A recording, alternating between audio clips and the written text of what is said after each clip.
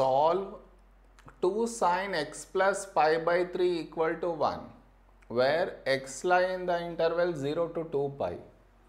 Here they told you to solve. So you should find the values for x satisfying this equation and also it should lie in the interval 0 to 2 pi. Here you have 2 pi that means you should get the answer in radians. For that put your calculator in radians mode. I repeat put your calculator in radians mode. Now the given equation is 2 sine x plus pi by 3 equal to 1. Here you have sine. So you make sine the subject. For that you should remove this 2. So to remove the 2 you divide by 2. So we get sine x plus pi by 3 equal to 1 by 2. Now to get the values for this, here we have sine and here it is positive.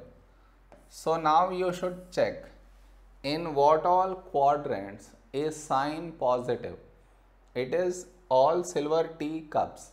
So sine is positive in the first and in the second.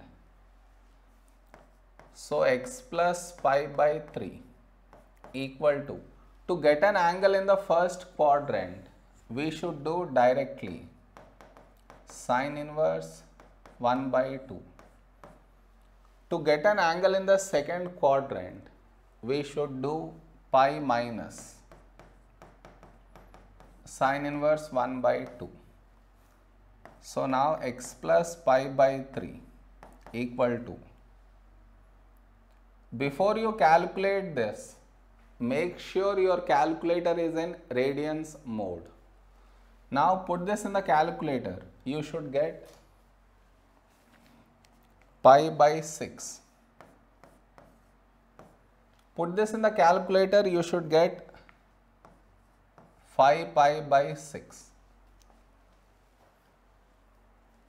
Now the question arises in what interval should the values for x plus pi by 3 lie and shall I find more values for this or not? To answer that we do this. Here x lie in this interval we should get x plus pi by 3. To get that you add pi by 3.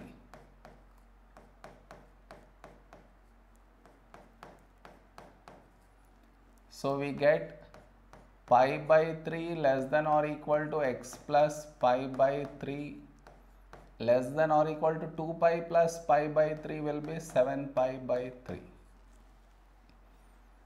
Now the values for x plus pi by 3 should lie in this interval. When this happens, the values for x will automatically lie in this interval. Clear? Now we should write all the values for x plus pi by 3 in this interval. Now, does pi by 6 lie in that interval? No. So you reject pi by 6.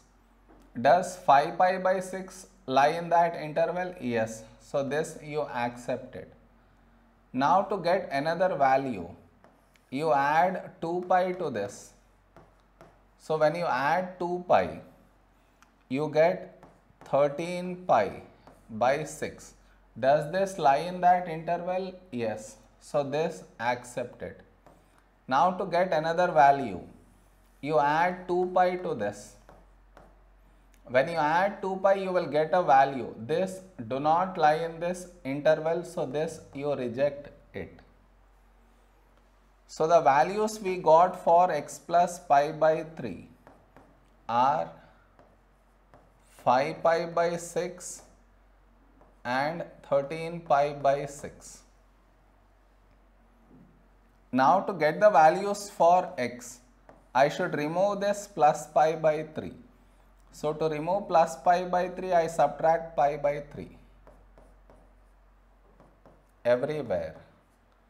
So this cancel out, here I get x equal to, put this in the calculator, you should get pi by 2. Put this in the calculator, you should get 11 pi by 6. These are the values for x. This is our answer. Am I clear?